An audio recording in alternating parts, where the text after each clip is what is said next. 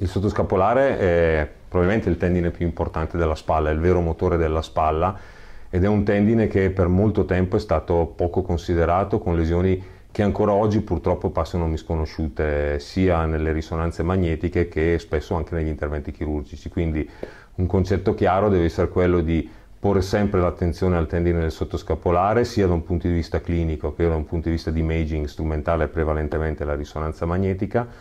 e soprattutto eh, la, diciamo, eh, la, chiave di volta per cercare di, di, fare un lavoro fatto bene sul sottoscapolare è la tempistica. Sono tendini che vanno riparati molto rapidamente, al di sotto dei tre mesi, sopra i tre mesi le, i risultati, gli outcome clinici tendono, tendono a calare. Quando ci si dedica a una chirurgia del sottoscapolare bisogna essere sempre pronti a fare qualsiasi cosa, compreso aprire, eh, dover isolare strutture nervose, spesso eh, strutture vascolari o ricorrere talvolta in situazioni non riparabili all'utilizzo dei transfer muscolo-tendini che possono essere di diverso tipo. Ancora oggi la fa da padrone il, il gran pettorale, parzialmente il piccolo pettorale.